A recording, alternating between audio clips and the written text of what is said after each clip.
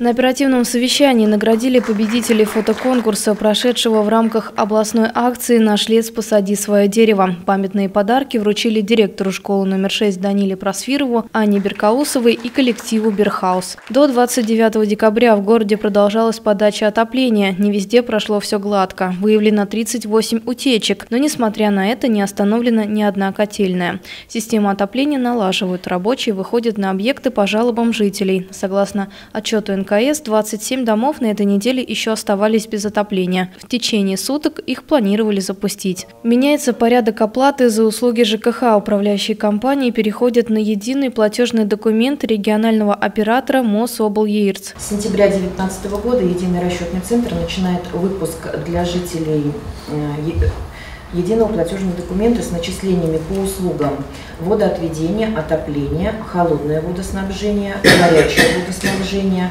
содержание жилого помещения, холодное водоснабжение ОДН, горячее водоснабжение ОДН, отведение источных вод ОДН, электроснабжение ОДН. Помимо услуг управляющей компании и ресурсоснабжающей организации в платежном документе будут отражаться услуги, это взнос на капитальный ремонт и услуга обращения с ТКО и электроснабжения. По условиям договора э, с управляющей компанией и ресурсоснабжающей организацией выпуск э, по городскому округу э, Орехово-Зуево будет осуществлен в два этапа. В первом этапе Квитанции получат жители микрорайонов Воронцовско-Пролетарский, Крутое, Карполит, Гагарина и часть Парковского микрорайона и присоединенная территория.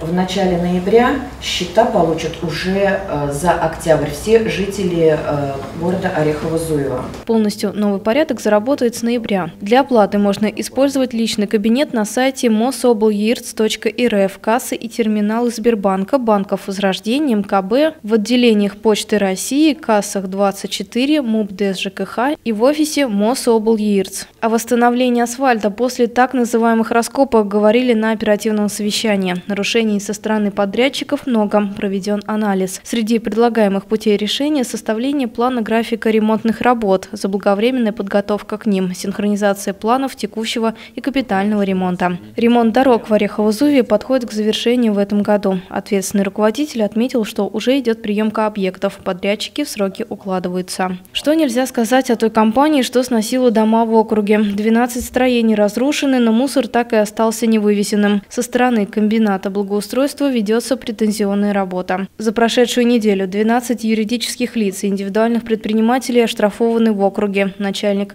Госадомтехнадзора отметил, что возникает много вопросов по содержанию детских игровых площадок.